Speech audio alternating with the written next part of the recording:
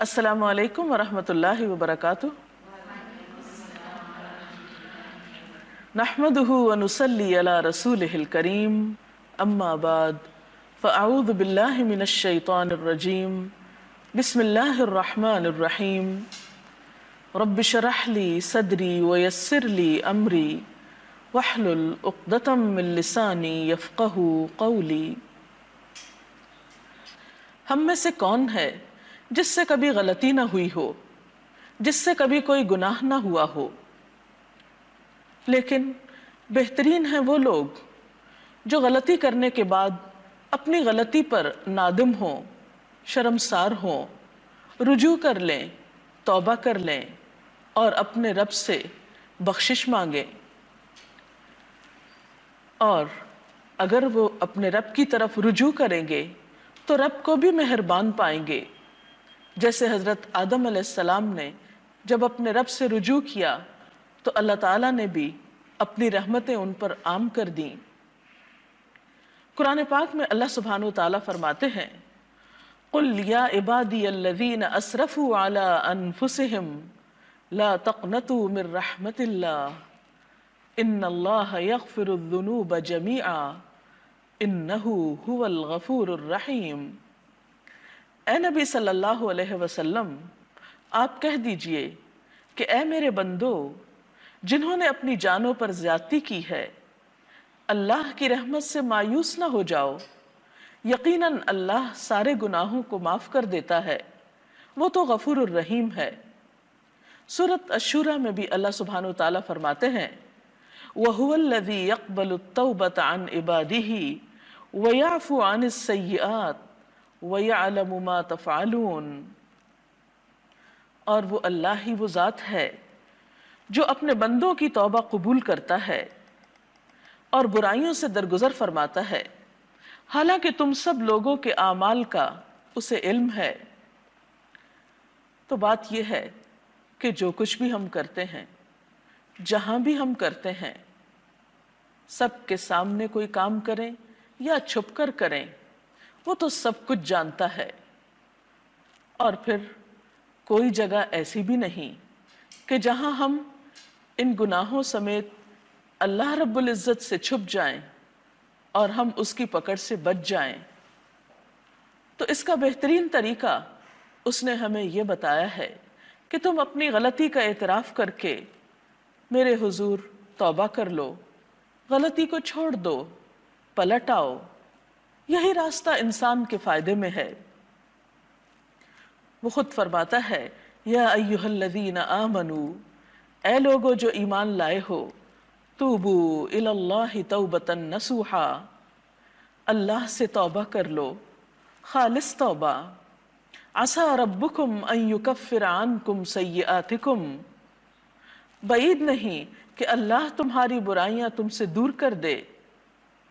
वयुदखिलकुम जन्नातिन और तुम्हें ऐसे बागों में दाखिल कर दे तजरी मिन तहतहल अनहार जिनके नीचे नहरें बह रही होंगी तो गोया गलती करने के बाद अगर कोई शख्स सच्चे दिल से तौबा कर लेता है तो अल्लाह ताला की तरफ़ से उसके लिए वादा है कि उसकी बुराइयाँ उससे दूर कर दी जाएँगी और उसे जन्नत के बागों का मुस्तहिक बना दिया जाएगा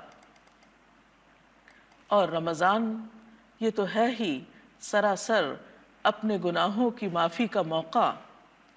नबी सल्लल्लाहु अलैहि वसल्लम ने फरमाया मनसाम रमदान ईमान व एहतसाबन, गुफिर लहू मा तक़द्दम मिन ज़म्बिह कि जिस शख्स ने ईमान और एहतसाब के साथ रमज़ान के रोज़े रखे तो उसके पहले गुनाह माफ़ कर दिए जाते हैं। लेकिन अगर कोई शख्स रमज़ान का मौका पाकर भी फिर गुनाहों की बख्शिश न करवा सके तो ऐसा शख्स महरूम है। हज़रत काब बिन उजरा रज़ी अल्लाह तु कहते हैं कि नबी सल्लल्लाहु अलैहि वसल्लम ने लोगों से कहा, तुम लोग मिंबर के पास जमा हो जाओ। चुनाचे हम सब मिंबर के पास जमा हो गए। हुजूर अकरम सल्लल्लाहु अलैहि वसल्लम तशरीफ़ लाए। जब आपने पहले सीढ़ी पर कदम रखा, यानी मिंबर की तो फरमाया, आमीन। फिर जब दूसरी सीढ़ी पर कदम रखा तो फरमाया, आमीन. जब तीसरी सीढ़ी पर कदम रखा तो फरमाया, आमीन. खुतबा देने के बाद जब आप मिंबर से उतरे तो हम लोगों ने कहा, ए अल्लाह के रसूल सल्लल्लाहु अलैहि वसल्लम, हमने आज आपसे वो बात सुनी है जो कभी नहीं सुनते थे। आपने फरमाया, जब मैं पहली सीढ़ी पर कदम रख रहा था तो जबरील अमीन तशरीफ़ लाए और फरमाया, वो शख्स तबाह हो, जिसने रमज़ान का महीना पाया और अपनी बख्शिश नहीं कराई। तो मैंने कहा, आमीन। फिर जब मैंने दूसरी सीढ़ी पर कदम रखा तो उन्होंने कहा, वो शख्स खुदा की रहमत से दूर हो जाए, जिसके पास आपका नाम लिया गया और उसने आप पर दुरूद नहीं भेजा। तो मैंने कहा, आमीन। फिर जब तीसरी सीढ़ी पर कदम रखा तो जबरील ने कहा, अलैहिस्सलाम वो शख्स खुदा की रहमत से दूर हो जाए, जिसने अपने माँ बाप दोनों को या उनमें से एक को बुढ़ापे की हालत में पाया और उनकी खिदमत करके जन्नत में दाखिल नहीं हुआ। तो इस हदीस से पता ये चलता है कि रमज़ान मुबारक का महीना गुनाहों की माफ़ी का एक बेहतरीन मौका है। अगर कोई शख्स इस मौके को गंवा देता है तो वो शख्स सरासर अल्लाह सुबहान तआला की रहमत से महरूम होने वाला है। इसलिए हम सबको इस मौके से बेहतरीन फ़ायदा उठाना चाहिए।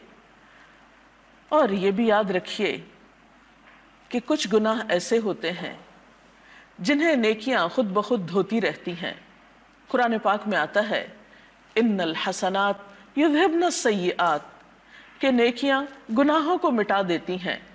लेकिन कुछ गुनाह ऐसे होते हैं जिनके लिए इंसान को नेकियों के साथ साथ ख़ास तौर पर तौबा करनी चाहिए। ताला के हुजूर दुआ करनी चाहिए इस्तफार करनी चाहिए और रमज़ान उसका बेहतरीन मौका है। आम हालात में भी अल्लाह सुबहान तला की रहमत के दरवाजे हर वक्त खुले रहते हैं। हकीकत में ये बात इंसान के फ़ायदे में है कि जब भी उससे गुनाह हो उसे गुनाह का एहसास हो तो तौबा करने में देर ना लगाए। दिन हो या रात, फ़ौरन अल्लाह सुबहान ताला की तरफ़ रुजू कर ले। हज़रत अबू मूसा अशरी नबी सल्लल्लाहु अलैहि वसल्लम से रिवायत करते हैं कि आप सल्लल्लाहु अलैहि वसल्लम ने फरमाया, अल्लाह अज्जा वजल रात के वक्त अपना हाथ फैलाता है, ताकि दिन में गुनाह करने वाला तौबा कर ले। फिर दिन के वक्त अपना हाथ फैलाता है ताकि रात में गुनाह करने वाला तौबा कर ले। हती कि सूरज मगरब से तुलू हो जाए। गोया बंदों की तौबा दिन में भी कबूल होती है और रात में भी कबूल होती है। हती कि क़यामत आ जाए, क्योंकि क़्यामत के आने पर तौबा कबूल न होगी। जब इंसान के सामने उसके आमाल आ जाएँगे और वो अपना बुरा अंजाम देख लेगा। उस वक्त पलटना कुछ माने नहीं रखता। इसलिए कि उस वक्त तो हर शख्स अपने गुनाहों को देखकर नादिम होगा ही, लेकिन वो वक्त तो फिर सिर्फ़ हसरत व यास का वक्त होगा नदामत का वक्त होगा, तौबा का वक्त नहीं होगा। एक और हदीस में आता है इन अल्लाह बंदे की तौबा कबूल करता है, जब तक कि उसका सांस नहीं उखड़ता। तौबा की शरात में से अहम तरीन शर्त यह है कि इंसान अपने गुनाह का एतराफ़ करे। क्योंकि अगर कोई शख्स गुनाह पर इसरार करे और गुनाह को गुनाह ही ना समझे, अपनी गलती को गलती ही ना माने तो ऐसे शख्स के लिए तौबा नहीं। हज़रत आशा रज़ी अल्लाह कहती हैं कि रसूलुल्लाह सल्लल्लाहु अलैहि वसल्लम ने फरमाया, बंदा जब एतराफ़ गुनाह के साथ तौबा करता है तो अल्लाह ताला उसकी तौबा कबूल फरमाता है। फिर इसी तरह आप सल्लल्लाहु अलैहि वसल्लम, जो कि गुनाहों से पाक थे, मासूम थे। लेकिन इसके बावजूद दिन में कई बार तौबा किया करते थे। नबी सल्लल्लाहु अलैहि वसल्लम ने फरमाया, लोगों, अल्लाह की तरफ़ तौबा करो और उससे बख्शिश तलब करो। बेशक मैं एक दिन में सौ मरतबा तौबा करता हूँ। अगर अल्लाह के रसूल सल्लल्लाहु अलैहि वसल्लम का हाल ये था तो फिर हमारा अपने बारे में क्या ख्याल है? हज़रत अब्दुल्ला बिन उमर कहते हैं कि हम रसूलुल्लाह सल्लल्लाहु अलैहि वसल्लम की तौबा इस्तगफार गिनते थे। एक मजलिस में आप सौ बार कहते थे रब ली ओ तुब आलिया तव्वाबुल गफूर।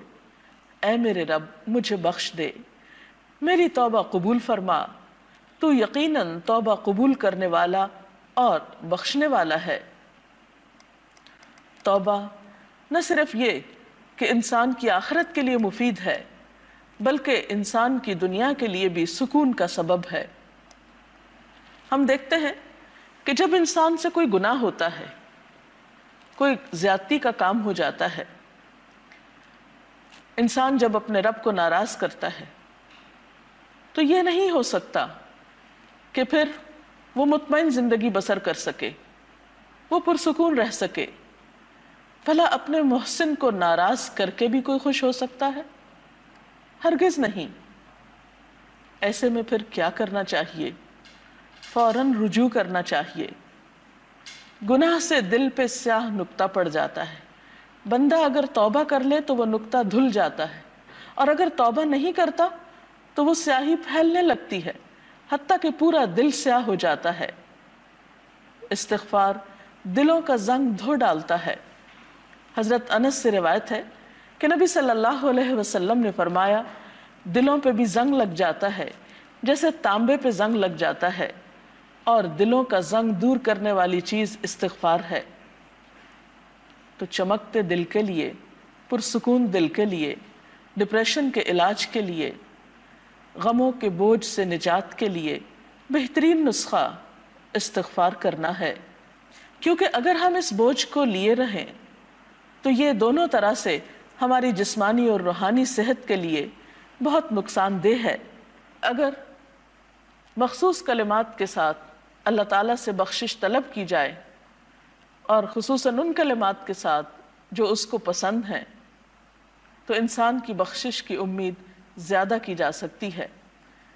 वो कलिमात कौन से हैं? वो कलिमात वो हैं जो अल्लाह के रसूल सल्लल्लाहु अलैहि वसल्लम ने हमें सिखाए हैं।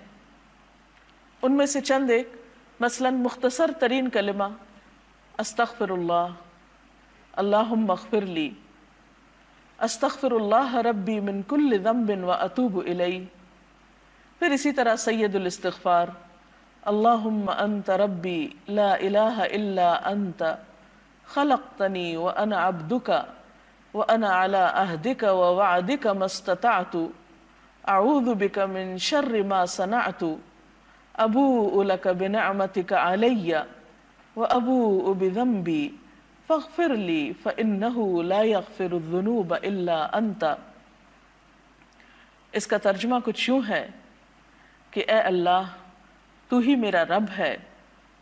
तूने मुझे पैदा किया। तेरे सिवा कोई माबूद नहीं। तूने मुझे पैदा किया है और मैं तेरा बंदा हूँ। मैं अपनी इस्तात के मुताबिक तुझसे किए हुए अहद और वादे पर कायम हूँ। उन बुरी चीज़ों से जो मैंने की हैं, तेरी पनाह माँगता हूँ। मुझ पर तेरी जो नेमतें हैं, मैं उनका एतराफ़ करता हूँ। अपने गुनाह का एतराफ़ करता हूँ। मेरी बख्शिश कर दे, मेरी मगफरत कर दे कि तेरे सिवा कोई गुनाह माफ़ नहीं कर सकता। हज़रत शद्दाद बिन औस से रिवायत है कि आप सल्लल्लाहु अलैहि वसल्लम ने फरमाया, जो शख्स सुबह या शाम ये दुआ पढ़ेगा, अगर वो उसी दिन में मर जाए या रात में मर जाए तो वो जन्नत में दाखिल होगा। ये कलमात कुछ ज़्यादा तवील भी नहीं। थोड़ी सी कोशिश से इन्हें ज़ुबानी याद किया जा सकता है। और अगर ज़ुबानी याद न हो सके तो देखकर भी पढ़ सकते हैं। लेकिन ये याद रखिए कि महज चंद इबारतों के दोहराने से बख्शिश नहीं होती। जब तक हमारा दिल उसमें शरीक नहीं होता, हमारी नीयत और इरादा बख्शिश का जब तक नहीं होता तो इसलिए अगर हम वाकई चाहते हैं कि हम गुनाहों के बोझ से आज़ाद हो जाएँ और हम अल्लाह रब्बुल इज़्ज़त के करीब हो जाएँ। हम उसके नेक बंदों में शामिल हो जाएँ। उसके जन्नत और उसकी रहमत में हमें पनाह मिले। तो उसके लिए ज़रूरी है कि सबसे पहले हम अपने गुनाहों पर शर्मिंदा हों। फिर अहद करें कि आइंदा हम ये गलती नहीं करेंगे और उसके बाद उससे बख्शिश की दुआ करें। तो उम्मीद है कि अल्लाह रब्बुल इज़्ज़त ज़रूर बख्श देंगे। इस्तग़फ़ार के ये कलिमात आप दिन में, रात में किसी भी वक्त पढ़ सकते हैं। लेकिन खसूस अगर कबूलियत के अवकात में पढ़े जाएँ तो ज़्यादा मौसर हैं। मसलन सहरी के वक्त, इफ्तार के वक्त, नमाज़ों के बाद, और इसके अलावा चलते फिरते भी। क्योंकि इस्तग़फ़ार न सिर्फ़ गुनाहों की बख्शिश का ज़रिया है बल्कि हर गम और हर दुख से आज़ादी का नुस्खा भी है। तो अल्लाह ताला से दुआ है कि वो हमें तोबा और इस्तार की तोफ़ी अता करे। व आखिर दावाना अनिलहमदिल्ला रबालमीन